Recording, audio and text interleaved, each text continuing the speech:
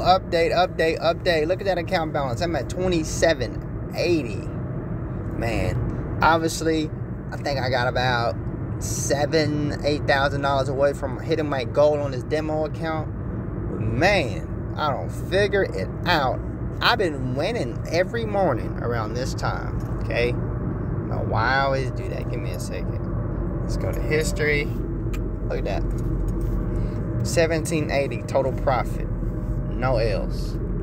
Look at that, no L's. I think I took one in the beginning. Actually, no, wow. Yeah, I took no L's. No L's all I'm doing is looking at the candlestick. I'm on M5 right now, okay? I mean, it really doesn't matter which time frame you trade. It's just really whichever one works for you. The reason why I did M5 because it takes about five minutes for the candle to actually form. Because when you do the one minute, it kind of goes really quick, right? I'm still only trading uh, one minute um, on the candlestick but what I'm doing is I'm seeing how the candle is closing underneath the EMAs and that's when I get in and get out. Even if it's only shooting down for one minute, okay? So earlier, it's shooting up now, but earlier the candlestick was wicking out at my uh at my Bollinger Band, right? And it was underneath the 9 and the 20 so I said, bet, let me go ahead and hit a sell because it's at least going to head down to that next candle. And then I got in and got out. Now, obviously, I'm trying not to be greedy. I'm trying to make it real lit can. But I plan on having a $1,000 account anyways. So I'm just trading 500 smacks. Okay?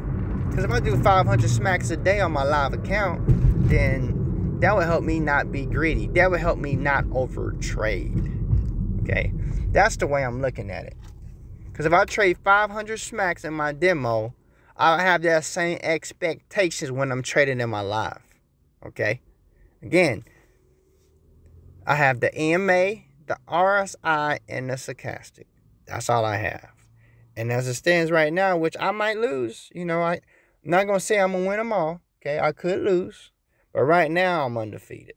I'm trying to grow this demo account to 10K, and then I go live. Because practice makes perfect. You don't jump into something head first and hoping it's going to work out. That's not the way it works. And that's the one thing I like about trading in the markets. Because you can practice before you actually put some actual money in. But anyways, uh, that's all I got for y'all, man. Uh, I'm doing it right this time, by the way. For y'all that don't know, I did take a job, but it's a six-figure paying job. Okay, it is in sales. I am helping students sign up for truck driving. But you guys are hearing it and seeing it here first. I'm gonna use this job to fund my trading account.